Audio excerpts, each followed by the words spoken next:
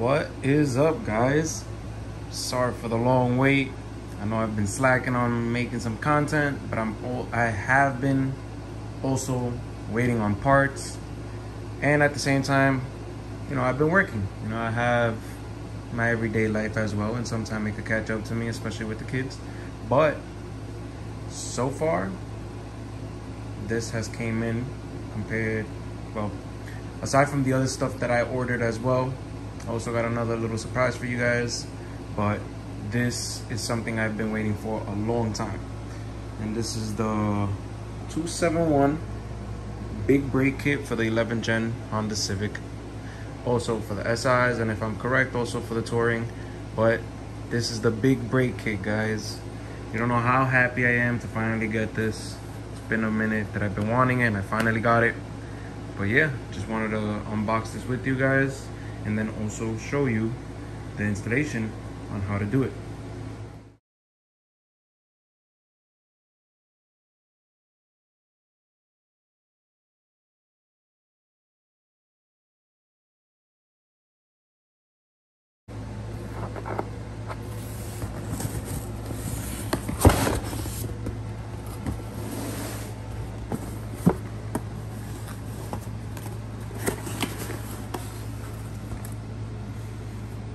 So,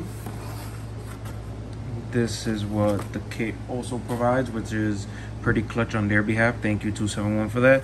They do provide you with stainless steel lines, so you don't have to go and buy stainless steel lines from God knows where. Because there's sometimes, you know, if you get a big brake kit, sometimes you gotta see which one fits. So for you to do the little research, you know, it does waste a little bit of time. I'm pretty sure you can find it out, but they make life easier.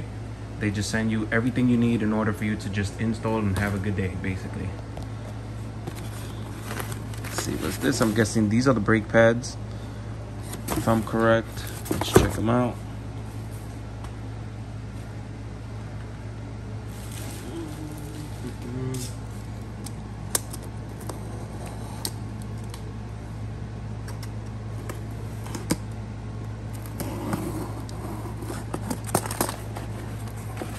So these are the hardware that they give you.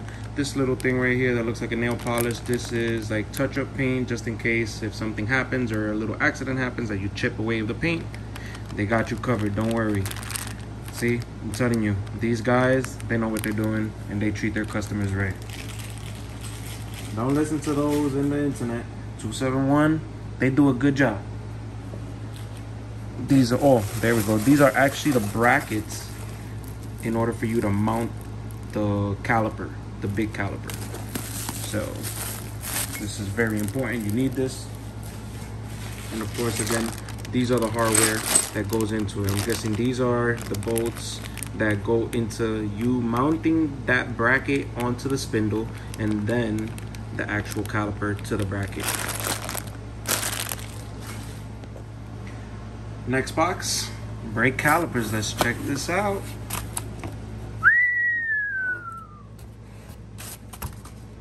Oh man. Oh man.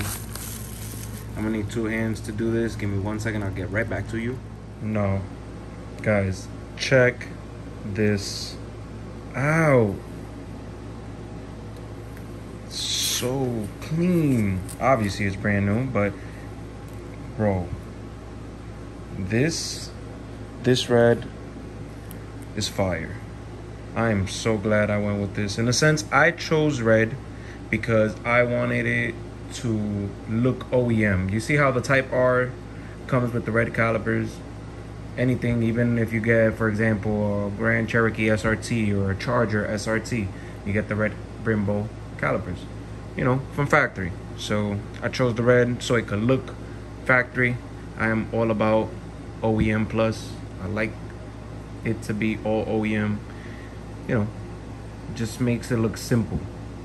But you do have the option of also getting it in orange or in black. And aside from that, I mean, if you get them, then obviously you could probably powder coat them. But you just gotta go to somebody that, you know, you could definitely trust. But the red, fire. and there's street pads that they recommend and they also give you with this kit they do show you guys what other brake pads you could use in the future that's one thing maybe some people will ask that question but say hey what what what, what am i gonna buy what am i gonna buy like what am i supposed to buy when these go bad or the rotors well the rotors they have the the information you need for you to go and order it because it's a two-piece rotor which i'll show you right now and I'll explain it to you while we're looking at it.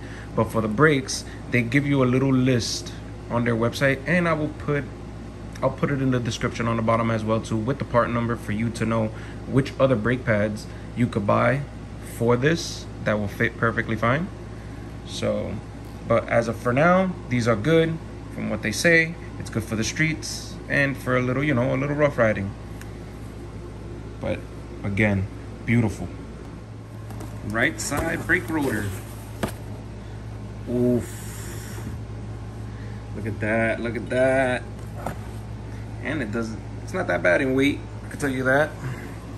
And as you can see what I was trying to tell you, these rotors are two piece. So basically, once you take out these bolts, this comes off and basically separates from the center.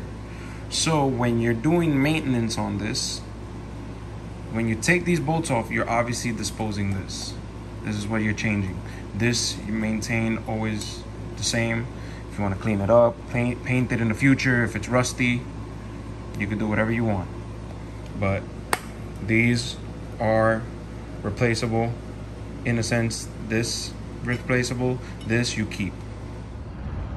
So, for starters, as you guys already know, you guys got to jack up the car, take out your wheel, and then once you do that I have the car jacked up all around right now because once I do this I'm also going to bleed the back brakes just to be on the safe side as well too. I know I'm just changing the calipers in the front but at the same time I suggest you guys to just bleed all four just to be on the safe side you know? Especially you don't want no air in the back brakes because again we're opening this up. We're taking out the the um, the brake line because we're changing into the stainless steel one so like i said it's always better to just do everything right and just for your own sake you know at least you know that you did it all around when you're doing this if you guys end up doing the big brake kit as well too so for starters what i would do right here right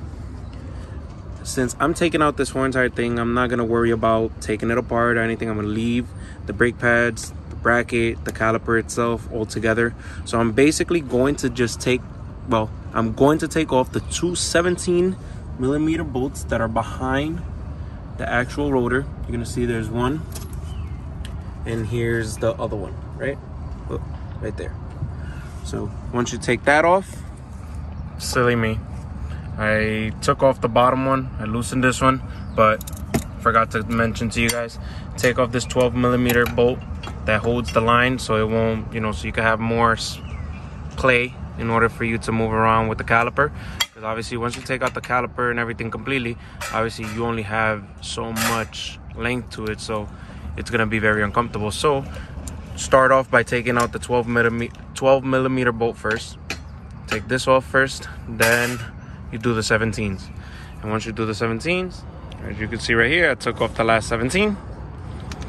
And voila. The whole caliper, everything, you just take it off. And I'll figure out right now where I'm going to put it. I mean, obviously I gotta take this off completely, but once you take off this 14 millimeter bolt that's holding the, the brake line, so to avoid some of making a mess, especially depending on where you're doing it if you're in your garage outside or whatever so nobody to complain to you or for you to not be frustrated yourself that you have to clean I got my pan here which i recommend get a little pan oil pan or anything anything that could just you know be on the bottom to catch the brake fluid when it drips down so because once you take off this 14 millimeter bolt obviously the brake fluid is going to come out i stopped it here because obviously we're going to be changing the the brake line but since I'm going to be doing this first right now, leave that for last. I pinched it so it will stop it from actually leaking more than what it's supposed to if you was to just leave it alone. So it's an idea for you guys if you want to do it. And just like that, once I took off the 14 millimeter bolt, as you can see, the line is not throwing that much brake fluid. What did throw the majority of it right here was the actual caliper, obviously, because it was coming out of it. So I put it down like that so it could just drip off, you know, so when I put it away, you know, there's no fluid inside that will make a mess wherever I store it. So now that's done. Now to take off the rotor. To take off the rotor, obviously, I don't know if you guys have this tool, but this is like, uh, how would you say, uh, us, an impact screwdriver. Basically, you hit it with a hammer right here in the back, and it'll spin it for you with the pressure of it being banged on. Pause. But um, yeah, since these are not that easy to take off for, in a sense that you could just take a screwdriver and try to take them off. Maybe you can get lucky, but there are ways to do it. Obviously, the best way, just buy the tool. If not, I've seen people take a small screwdriver, put it there, hit it with the hammer, and then with a, a pressure plier or plier, they just crack it open.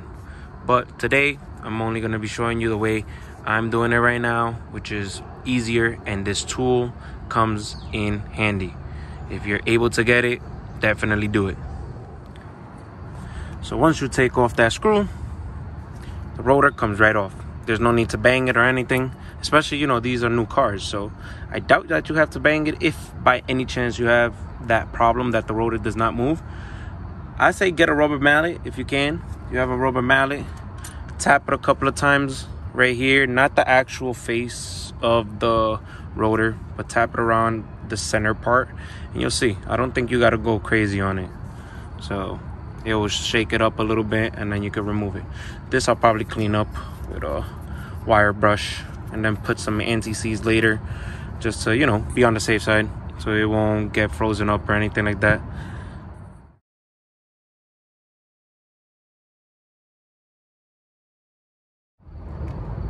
check it out. Easy peasy. All you gotta do take your rotor put it in a line where the nut goes and right there you put it on screw back the nut. You don't got to put it all the way tighten. You could just hand tighten it and at least it's not to move from there you get me? See? At least it helps you out that the rotor is not wobbly or moving while you're doing the rest of the installation but that's it for that. Now to get the calipers up now that the rotors are in next up is the bracket A bracket you're going to face it this way so the part on top that sticks out, that goes towards the the engine, right? Like towards the engine. So that all you gotta do is see, put it in as so. Then you take the small hex bolts that they give you, the small ones, because they give you four long ones as well. You take the small ones, and those small ones go in there. So I recommend you guys these are the bolts that you're putting on right to hold the bracket into place here so what I recommend is put a little bit of blue Loctite if you guys have and and if you don't I I highly recommend just do it just to be on the safe side um, these are torqued down if I'm correct to 64 to 70 foot pounds of torque if I'm correct so at least you guys have an idea better be safe than sorry so do everything to specs and you won't have no issues. Now, once the bracket is all mounted and torqued to spec, the next thing is the actual calipers. So now for these, obviously you're going to be using the the longer bolts that they provide you in the kit. Look at these, man. Beautiful.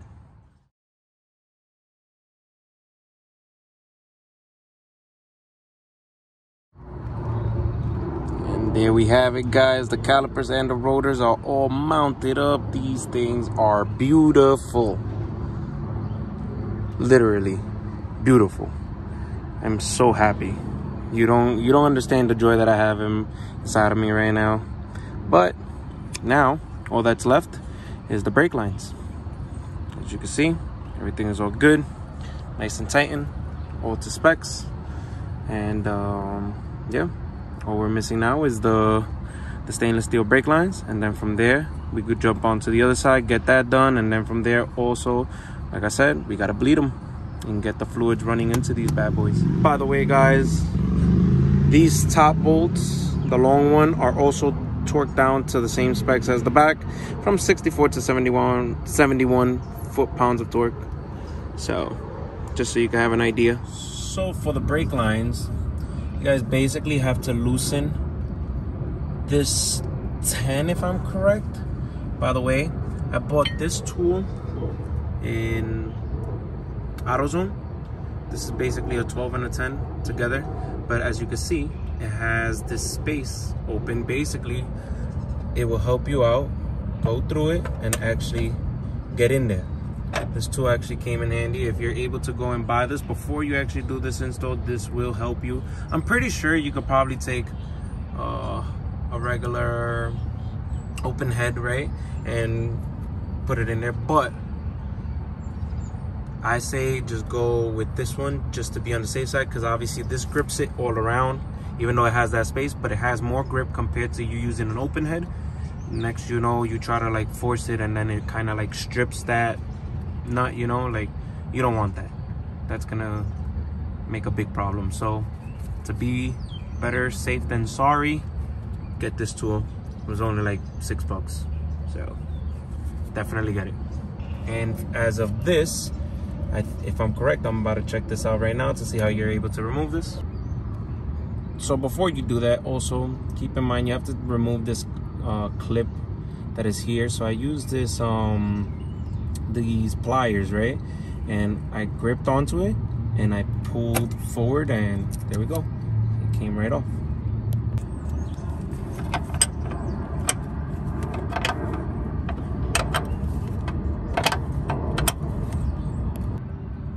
And you finish unscrewing that, obviously, there you go. Brake line is off. Just be careful taking it out. So guys, once you take off everything, right? You take your stainless steel brake line. You take off the nut that's on top of it because the, the line actually comes with a secondary nut.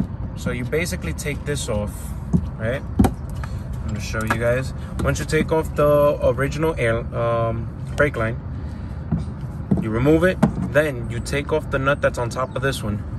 You basically slide it in where it was, the, the original one. And then on top, you put the nut that you took off and you put it and you start screwing it on together. That's how it's gonna sandwich this right here so the line won't move. Once you do it, at least even by hand, you get it down by hand, then the actual hard line, you put it on top and then you just basically screw that in the center of the airline. I mean the airline i'm sorry i'm thinking about air suspension but the actual brake line because as you can see here there's threads inside as well too. So that is for this 10 millimeter one right so once you do that and it's all nice and tightened this top one is a 19 and the bottom one is a 17 so you take the 19 open head and a 17 open head and you just tighten this together to sandwich it. And as you can see no movement all nice and dandy. And then over here for the new banjo bolt it's a 12 millimeter com compare obviously the original one was a sorry let me focus so this one is a 12 millimeter and the original one was a 14 millimeter. But got that that in. Obviously with the banjo bolt it comes with like two washers these like brass washers. One of them you put them onto the actual bolt right? As just like this right? So you put one inside first then you put it through the brake line and on the opposite side once it comes through the brake line you put the other one in and then you start screwing it in together then you sandwich the whole thing together when you're tightening this i say give it a nice hand tighten. Don't overdo it because you could create a big problem. So a nice little tug, hand tighten, you should be fine. just make you you I'm pretty sure you'll know exactly when it's all good, no need to go further. So, as you can see here, everything is done here. It's connected here. Some of the brake fluid already started flowing through it because I saw this was leaking brake fluid once this was already connected. And now to get this all nice and tight that it won't move or anything, the kit provides you these brackets right here. If I'm correct, I think this is what's used to hold the actual stainless steel line through the rubber grommet that they give you. So I'm guessing that this end goes where the 12 millimeter bolt goes. You bolt it down and then you attach this to the bottom end that is like a hook. And then from there, everything is all set. And as you can see guys, this is the finished product. This thing looks so freaking good. Literally. It just looks, it's like a perfect duo, air suspension and big brake kit. Perfect. And as you can see, there's the bracket with the 12 holding to the little grommet that the stainless steel line came with. And yeah, that's pretty much it, guys. Literally. Once you take off the rotors, and I mean the calipers, the original calipers, the way I showed you with the two 17 millimeter bolts, take that off. The thing comes completely off. Take out the 12 first obviously. Sorry about that. I keep forgetting to say that first but take off the 12 first. Get the stock lines loose. Once you take that off take off the or you could take off the line first off the back of the caliper if you want to and let it drip off but it's up to you guys. As long as you know how to take it off and this information helps you out but at the end of the day, as long as everything is put back on correctly, that's what's most important. And I hope my little guide to you with this helps you guys out install your big brake kit because I'm going to do the same thing to the other side and then I'll show you guys how the car looks afterwards. So let me wrap it up on this side now. I think, well, even though it's already wrapped up, I'm not gonna do anything. I'm just gonna jump into the other side, get that done, and then we're gonna lower the car once obviously we get this bled. So guys, I wanted to show you this trick that, well, it's not a trick. It's something that you could do in order to get this done by yourself if you don't have a buddy to pump the brakes for you. So I bought this OEM one-man brake bleeder from AutoZone. I saw a lot of good reviews on it. It works, and from the looks of it, it really does work because I have no complaints as of right now with it. So one thing that I did like about this kit, it came with this little adapter. So you could basically put one line into the bottle of where the brake fluid is gonna go. And then this this caliper comes with two nipples in a sense, pause, that will help, well, not help, uh, where you could bleed the brakes. So with this adapter, it splits into two. So I was able to do both of them at the same time while they just go into the bottle. And as you can see right here, no ears at all. Everything is good. And what you do with this is once you open, once you put this these lines onto the actual nipple, uh, and everything is connected as you see right here, because it's pretty self-explanatory. Once you buy the kit and you see it, you put the long line into one, and the two separate ones into each one. one is right here. Then you go inside. Once you crack, obviously, you crack them open a little bit, and then so you crack both of them open, this one and this one, and you go inside the car. You start pumping the brakes.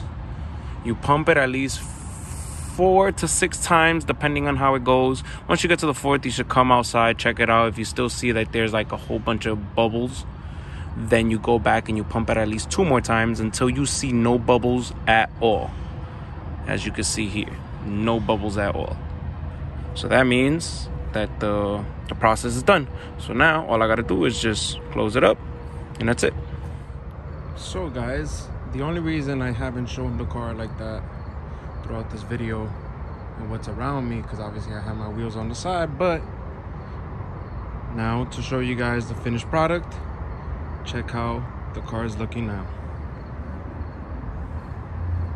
That's right. We got brand new wheels on it. I got all, I got, well, I took off the touring wheels and I got myself some work wheels, CR Kais. And check it out now with the big brake kit, which clearly, as you can see, it cleared perfectly. No need to worry with this kind of wheel if you're doing the big brake kit on this type of SI, 11th gen Civic. So the wheels are 18 by nine and a half. The offset is 38. As you can see, I went with 225 35 18 tires just to give it a little stretch. I mean, don't get me wrong, I would have loved to make them a little more meaty, but right now there's a show that's coming up here in New Jersey. It's called Fitted Lifestyle. So I was like, you know what?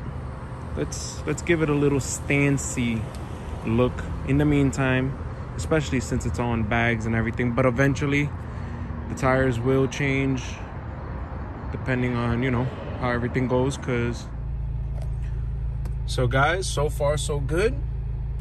Definitely could feel a difference in the braking now in the car. Like it's much smoother but yet firm. Like it stops on the dime and it slows down the car real quick. I haven't jammed the brakes like that to that extent because at the same time, you know, we gotta break them in now. We gotta break in the brake pads and making sure, you know, that everything works perfectly fine.